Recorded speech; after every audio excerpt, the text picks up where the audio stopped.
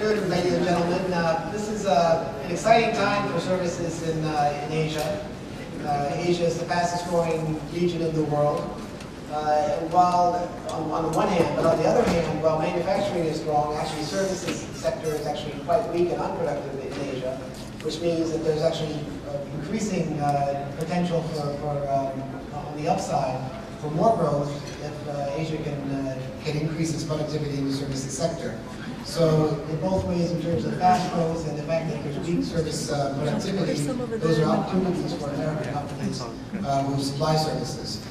Also, Asian countries are hitting the, the limits of growth, and, uh, and part of the problem they have is, is the uh, is the need to have more uh, service uh, productivity, to employ their people, to have more equality in their economies, to sustain growth over a long period of time. So again, good time for opportunities in, uh, in Asia. Uh, we all kind of know and they know what the, uh, what the, what the requirement is for the services industry. It needs to be deregulated, it needs to be liberalized.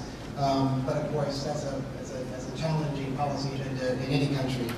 Uh, and this is why we're here this afternoon to talk about that agenda. What, is, what are the opportunities for service, uh, uh, services trade in, in Asia?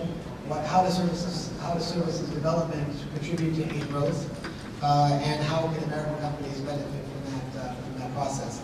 Today we have a, a panel of uh, experts. As you see, it's, uh, it's, a, it's a, very strong uh, and high caliber uh, panel, with the exception of the moderator. And, the, and without further ado, let's let's, let's talk about the the issues. The first panelist is Ambassador Demetrios Marantis.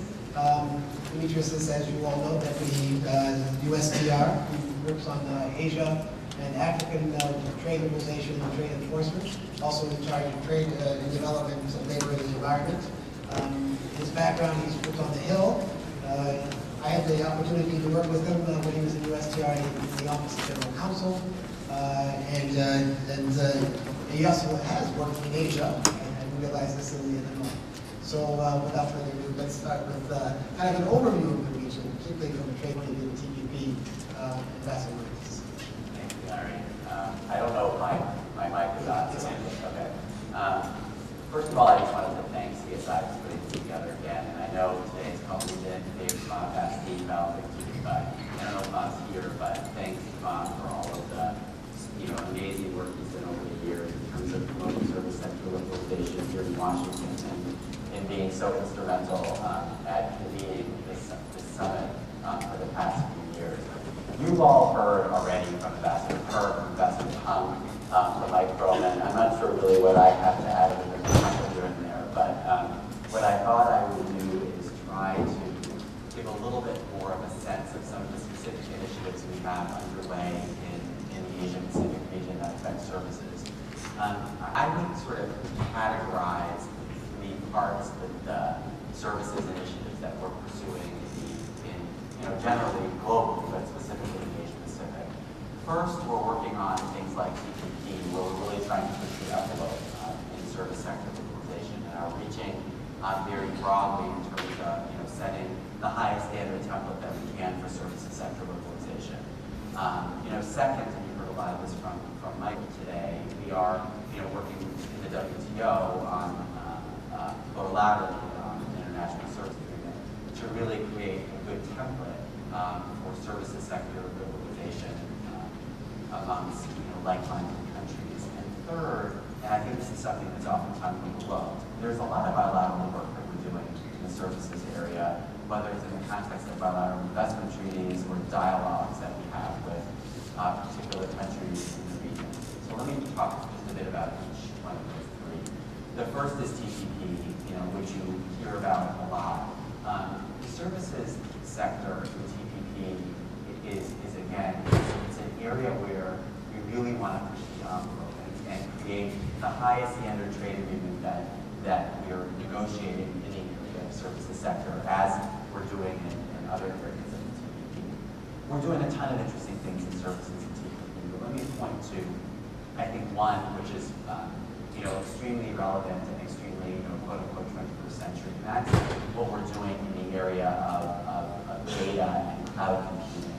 Um, you know, we have heard from, from, from you all, from exporters and from companies in the region that you really can't offer your services um, in a market if you're not able to supply the data that's associated with those services. And that's why TPP, really for the first time ever, we're trying to um, really create a free flow of data um, so that when you're offering your services, you're not you're not blocked by arbitrary restrictions that block websites or, or in some way restrict your ability to offer uh, your service on a cross-border basis. I think that's one of the very exciting things we're working on in services at TPP. Second, and similarly, in order to promote um, you know, cloud-based computing, one of the key restrictions that we've seen pop up in markets is uh, a requirement that you locate your data center in a particular jurisdiction in order to supply um, data or supply services in, in that, that sector. And that really does inhibit the growth of cloud-based services. And when you think about it, I mean, it's interesting, you think about cloud-based services, what are they? And, and um, you know, not anybody even having the uh, vision of what a cloud-based service was, you know, even five years ago. It's, it's something that is not just so important from, uh, you know, the large companies or small and medium-sized companies to be able to store and locate their data in the cloud, but think about it from a developmental perspective. Think about, and this example keeps coming back to me, which I find so interesting, in part because I lived in Vietnam, but um, you know, there is a great story of, of you know, a Indian rice farmer who is relying on a chip that's located in his tractor as he's plowing his rice field um, in order to be able to assess the soil quality. Um, you know, something like that is was unimaginable, you know, three, four years ago, but because of the opportunities that exist in the cloud, you know, we're able to, or, or, or um, Vietnamese rice farmers are able to access information that they never before had at their fingertips. And that's why we're really trying to push the TPP um, obligations that would really enable these type of services to flourish. Um, second, on the international services agreement, I you've heard a ton about that already. I'm not going to spend any time on it other than, you know, we are working with some of our like-minded Asia Pacific partners, um, Australia, New Zealand, and, and us to, to really push that. Um, the third area that I just wanted to spend a little bit of time on is, is what are we doing bilaterally to further service sector localization? And, you know, we, we have spent a lot of time and actually gotten, you know, some criticism on how long it took us to release our new model bilateral investment treaty, which we released in, in, in April after a very thorough review. And on this basis, you know, we're working with our partners in the region, um, including India and China, in the effort to conclude a bilateral investment with them. Why is that important? BITs, as you know, really do um, provide for important obligations that help to ensure transparency, fairness, investor protections, and provide a level playing field in terms of, of dispute settlement. And now that we have released our, our revised model, it really does give us an opportunity, you know, with, with economies like China and India, um, to make progress on, on the, you know, investment element of, of services. There's also um, bilateral dialogues that we have with a variety of countries in the region where we promote service sector localization. Um, you know, we do have done a lot of work with India on services. Um, I know Nelson's going to talk more India, so I'm not going to spend very much time. But what's very interesting on the Indian side is, you know, we all know India as a big services powerhouse exporter. Um, but it's becoming more and more clear, I think, the importance of services imports into India's economy as a way of ensuring the competitiveness of Indian industry going forward. And recent developments with respect to um, liberalization in the, in the retail sector, for example, um, it, it, is an example of, of this, and, I, and, Nelson will talk more about that. China, I will conclude on. Um, you know, we have made a lot of progress over the years in promoting service sector localization in China. Uh, you know, most recently at the S&ED, where um, you know China provided um, assurances that it would allow our companies to provide mandatory third-party liability insurance. But as you all know, and as you all tell us, the investment services sector in China does remain, um, you know, full of uh, restrictions. And whether it's looking at the revised foreign investment catalog that did not go nearly as far as I think many of us had hoped in terms of opening new sectors to investment in China, to restrictions that China places on the cross-border supply of services, whether it's in the financial services sector, the telecommunications sector, the express delivery sector. Um, you know, there are many challenges that we continue to face in China's market. And until um, China, I think, really realizes the importance of, of um, encouraging investment and liberalization in services, it, it is going to, I think, retard China's ability to accomplish its you know, very real goal of becoming an innovative economy. Um, there's a lot more that, that I can say, but I don't want to monopolize the conversation, so let me stop there. Great, thanks, Demetrios. Um, Demetrios mentioned uh, India and China as obviously two major important uh, countries in the region for us, and uh, uh, the next two speakers will address those. Let's start with India. Um, Nelson Cunningham is the managing partner and co-founder of McLarty Associates. Uh, he has a, a background uh, that's in your, in, your, folder, so we won't go over it all, but he was he was uh, he worked in the White, the White House uh, during the Clinton administration as special advisor on the Western Hemisphere, um, and in a number of other positions, important positions. Um, he spent the last uh, six years building the Indian practice in the party. He spent, spent a lot of time in India during that time. Uh, so uh, look forward to uh, Nelson's comments on Thanks, uh, thanks very much, Larry, and thanks, Demetrios, for, for that broad, uh, broad introduction.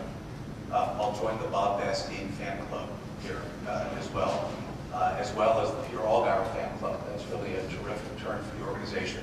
a lot of us who, uh, while sorry to say goodbye to Bob, just delighted to see the organization bring on somebody as strong as Peter is. Um, here to talk about India. If I had been here sitting in front of you two weeks ago, uh, I would have been frankly a little haggard looking, uh, a little despondent. Uh, you would have seen some some wear on my suit and, uh, and on the soles of my shoes from walking the pavements in Delhi. Today, because of the dramatic announcements made last Friday, I've got a new spring in my step. Uh, the same government which had, which had blocked and held up and been considering a variety of key pro-business reforms abruptly announced them last Thursday and Friday. Uh, after long pushing by uh, U.S. interests, including Walmart and others, and other international interests, they opened up the retail sector uh, to foreign direct investment. Uh, they opened up the civil aviation sector to permit foreign aviation companies to now take stakes in Indian aviation companies. They opened up a, a big swath of the telecom sector, uh, the cable television sector in particular, to foreign investment. They didn't do everything. I see some people out here in the insurance sector, including Larry Greenwood, who are gnashing their teeth that insurance, insurance FDI didn't quite make it over the top. But make no mistake about it, that set of reforms, and there, and there were others that I won't go into, uh, price caps on, on subsidies for fuel and others, that set of reforms last week is the most dramatic set of reforms uh, we've seen in the last two decades in India, really since the great opening started in 1991 under Manmohan Singh's first incarnation as finance minister. So I walk into this session with just a great deal of excitement about the opportunities uh, now for the American investment community and American companies in India. Uh, let's talk about services, uh, let's talk about the role of services in, historically in India. Let's talk about the role of services today in, in India's current slowdown. And then lastly, I'd like to talk about uh, the opportunities for a bilateral investment treaty to, uh, to drive forward growth in services and investment in services by U.S. companies. First of all, uh, the role of services in the Indian economy uh, has been dramatic. 60%, 60% of the Indian economy uh, is in services. And it employs 34% of labor base. Uh, compare this to agriculture, which is only 14% of the economy, yet employs over half of the labor force. Industry is only 27% of economic output and has 14%. So when you look at services, already 60%, already uh, employing 34% of the labor force, you see what a dramatic impact growth in services in India has had on their current economic state and what it could do for them going forward. Uh, and it's been growing fast. It's been growing at a rate of 10% a year, as opposed to 8% for industry, 4% for agriculture. I mean, the trend is clear. Net net, services are the largest share of the Indian economy and are the fastest growing piece of the Indian economy. Uh, Since the slowdown in 2008, services have continued to help buoy India's economy face of a global slowdown. Again, we've seen growth rates in services continue at 10%, which was at their, their pre-financial crisis levels. They've continued that here in the post-financial crisis area, while industry has been cut in half from 10% a year down to 5% a year.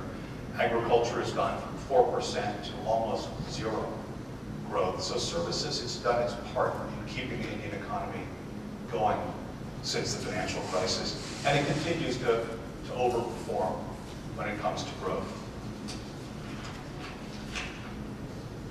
But there are limits to what the services economy alone can do to drive India forward. Part of it is because, uh, you know, the service industry so far has been in the high value added areas. Think of computer engineers, think of research scientists, uh, think of the uh, think of the outsourcing uh, centers in, in Gurgaon outside of outside of Delhi. High-paying jobs, high value added, truly participating in a global economy and so able to reap the higher wages of that global economy. But there are certain problems with that going forward, certain limitations going forward. The first is uh, they're dependent on the US and on Europe. Unless we continue growing, they can't grow. Second, we're already employing a large number of, of Indians who have the high advanced degrees. And there are only so many of them that you can bring into the sector. So what is left in the services sector? It's the middle skill areas such as retail uh, and insurance, areas where people with lower levels of education uh, can get good paying jobs that can drive their families forward and add substantially to the Indian economy. These are the areas where India needs to focus. Lastly, let me turn to where a BIT uh, might help drive the services sector and might help advance matters. Can it do so? I think the answer is clearly yes, but only if we on the US side are willing to insist on high standards for a BIT. There'll be those who will be looking to race toward a BIT to get it done, to show forward progress and momentum in the relationship.